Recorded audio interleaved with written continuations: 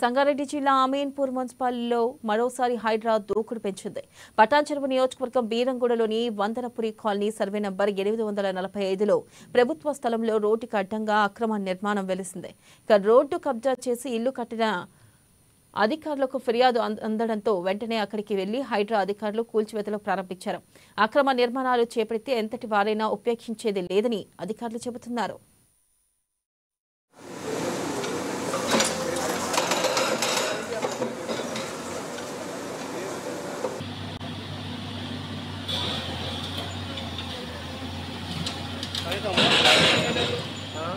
model రాకుండా అంటే ఏంటన్నారు